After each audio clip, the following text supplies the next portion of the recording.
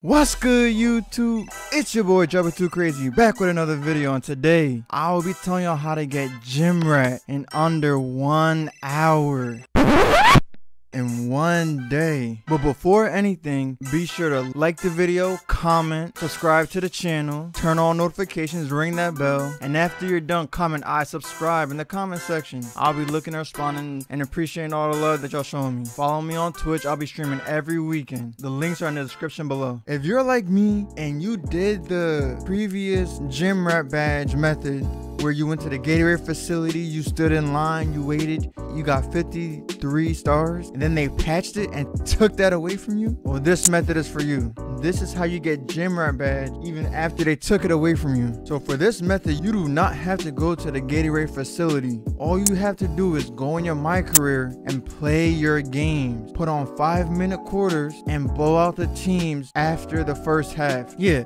after the first half. You go through each game, do your method, whatever you have to do, whether it be dunk, whether it be shooting behind screens, or whatever. I I shot behind screens and I sim games until I won 45 games.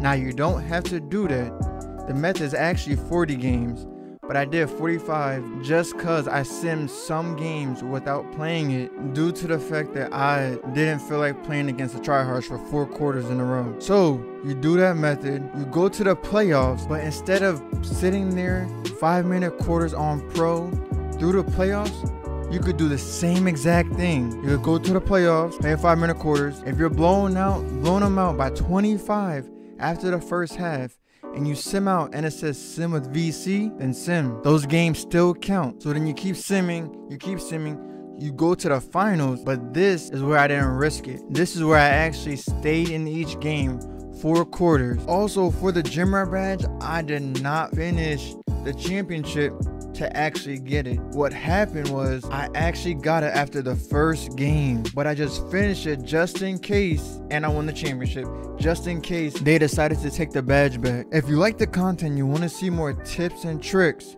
be sure to like, comment, subscribe, and turn on post notifications.